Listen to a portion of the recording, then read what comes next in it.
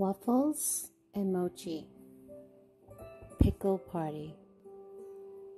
Let's do a picture walk. I see green balloons and blue balloons. And it did say it's a party, so they're having a party. I see them holding food.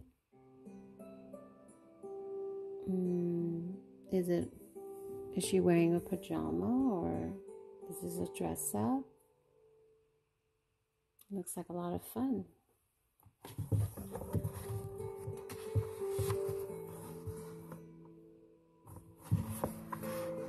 Waffles and Mochi Pickle Party by Frank Berrios. Illustrated by Sarah Rebar. This is Waffles.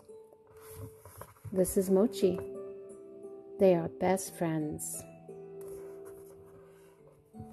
Waffle. Mochi. They work at the supermarket.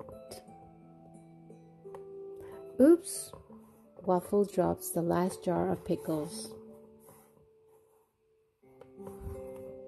Hmm. Kennedy cannot wait for her birthday. She really wants pickle at her birthday party. She is sad. What does she want? She wants pickles. Waffles and Mochi must find a pickle plant fast. It means that they need to go find a, a, um, a company that makes pickle. Lots and lots of pickles. You need to make a pickle? says Busy. Pickles do not grow on plants. Another friend helps Waffles and Mochi learn how to pickle fruits and vegetables. Do you know how they make pickles? Pickle fruits and pickle vegetables? They place salt, water, vinegar, and spices in a jar. Salt, water, vinegar, and spices in a jar. They pickle carrots and mangoes. Some people like to put carrots in there and mangoes. So it'll be very sour and a little sweet. They pickle yummy olives, olives, and cucumbers. Oh no! Waffles and Mochi learned that it takes five days for cucumbers to become pickles.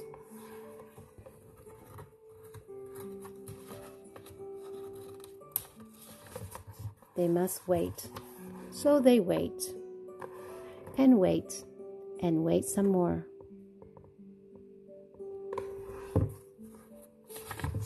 After five long days, the pickles are ready. Waffles and mochi race to Kennedy's party. What, kind of cake is it? Kennedy smiles.